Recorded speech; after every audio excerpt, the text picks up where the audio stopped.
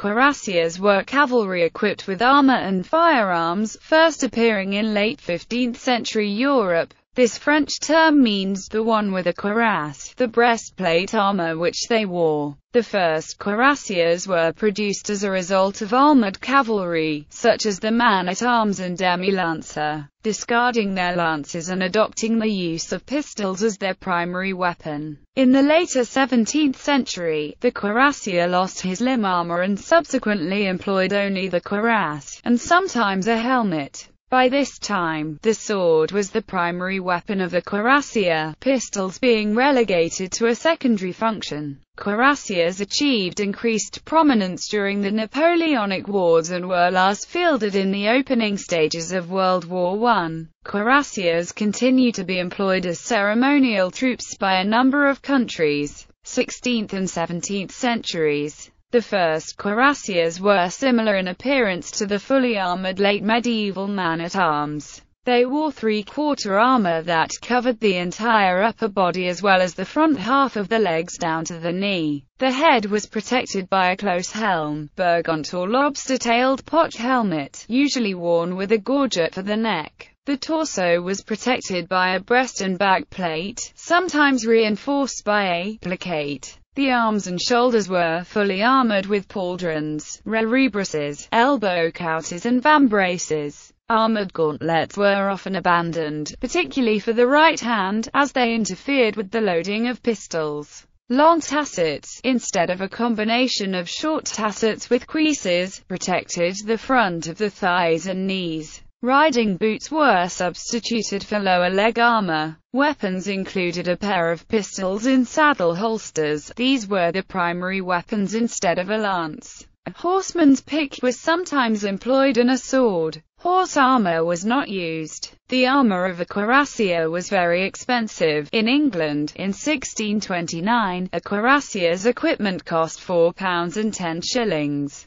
whilst a harquebusiers was a mere one pound and six shillings. During the latter half of the 16th century, the heavy, knightly, lance gradually fell out of use perhaps because of the widespread adoption of the infantry pike. Also, the lance required a great amount of practice to perfect its use. Whilst proficiency in the use of firearms was considerably more easily acquired, the lancer or demi-lancer, when he had abandoned his lance, became the pistol-armed cuirassier or reiter. The adoption of the pistol as the primary weapon led to the development of the stately caracole tactic, where cuirassiers fired the pistols at the enemy, then retired to reload whilst their comrades advanced in turn to maintain the firing. Following some initial successes, this tactic proved to be extremely ineffective as infantry, with superior firearms and numbers could easily outgun the cuirassiers.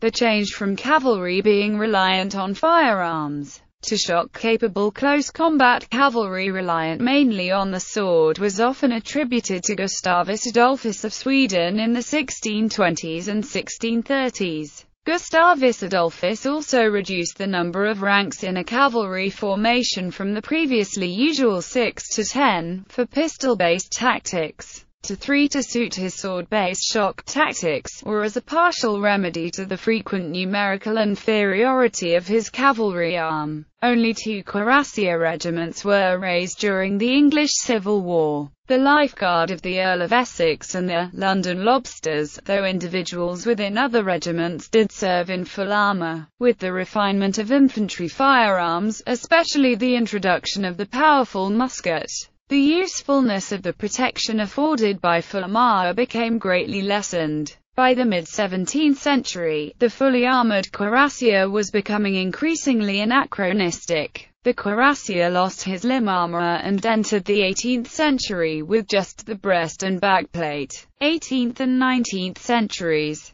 body armor, restricted to a breast and backplate fell in and out of use during the 18th century. For example British cavalry entered the War of the Spanish Succession without body armor, although they readopted it during the conflict. Cuirassiers played a prominent role in the armies of Austria, and of Frederick the Great of Prussia. By the time of the French Revolutionary War, few heavy cavalry regiments, excepting those of Austria, wore the cuirass on campaign. Most heavy cavalry from c. 1700 to c. 1785 wore the tricorn hat, which evolved into the bicorn, or cocked hat, towards the close of the century. In the first two decades of the 19th century, helmets, often of hardened leather with brass reinforcement, replaced the bicorn hat. A resurgence of armored cavalry took place in France under the rule of Napoleon Bonaparte who increased the number of armored regiments from 1 to, ultimately, 16. During the first few decades of the 19th century most of the major states of Europe, excepting Austria which had retained its armored cavalry, readopted the cuirass for some of their heavy cavalry in emulation of the French.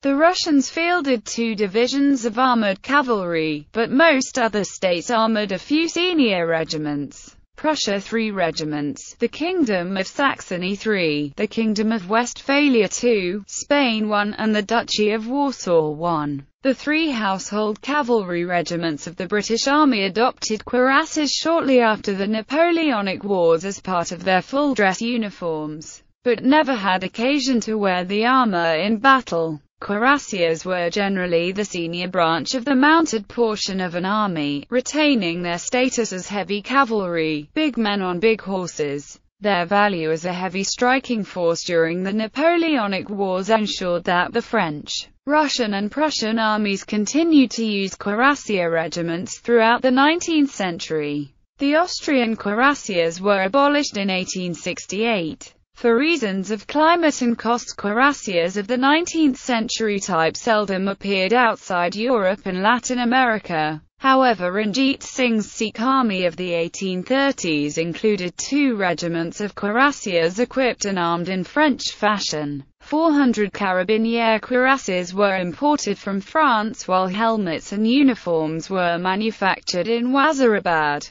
Saxon cuirassiers and Polish lancers clashing with Russian cuirassiers, during the Battle of Borodino. Cuirassier of the army of Napoleon I. Prussian Garde du Corps cuirassier during the Franco-Prussian War. French 6th Cuirassier Regiment in 1887. Nicholas II of Russia in the uniform of His Majesty's Cuirassier Guards Regiment, 1896. Effectiveness during Napoleonic Wars Though the armor could not protect against contemporary flintlock musket fire, it could deflect shots fired from long range, stop ricochets and offer protection from all but very close-range pistol fire. More importantly, in an age which saw cavalry used in large numbers, the breastplates provided excellent protection against the swords and lances of opposing cavalry and against infantry bayonets. It also had some psychological effect for the wearer and the enemy, while it also added weight to a charge, especially in cavalry versus cavalry actions were no longer proof against musketry at short range and even less against artillery. The cuirass was of greatest use in close quarter melee, proof against saber and bayonet blows.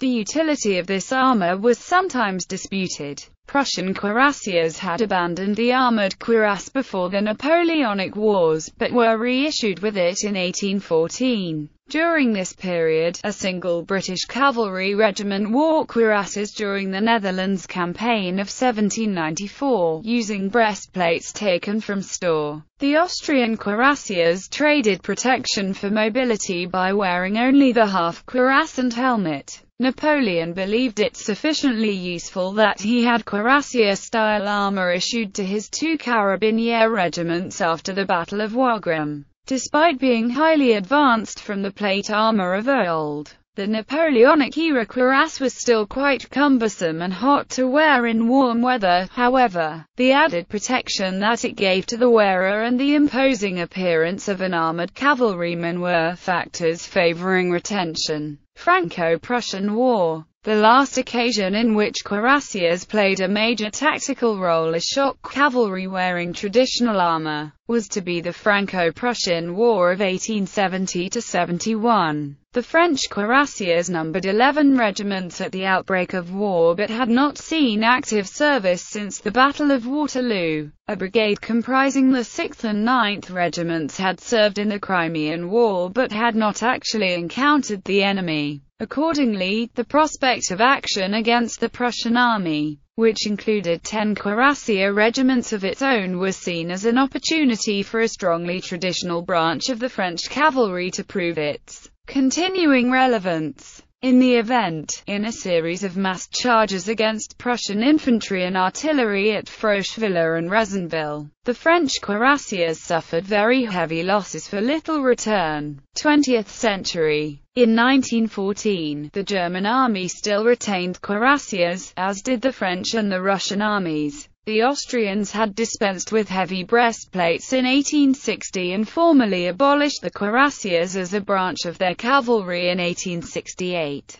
By the end of the 19th century, the German and Russian cuirassiers used the breastplates only as part of their peacetime parade dress. But the French regiments still wore the cuirass and plumed helmet on active service during the first weeks of World War I. Amongst ceremonial units the Spanish Escolta Real Squadron, the Argentinian Presidential Bodyguard, and the Italian Cuirassier Corps all wore cuirasses as part of their mounted full dress during the early years of the 20th century. The retention of cuirasses as part of their field uniform by the French army in 1914 reflected the historic prestige of this branch of the cavalry, dating back through the Franco-Prussian War to the campaigns of Napoleon. Before the war, it had been argued within the army that the cuirass should be limited to parade dress but upon mobilization in 1914 the only concession made to active service was the addition of a cover of brown or blue cloth over the shining steel and brass to make the wearer less visible.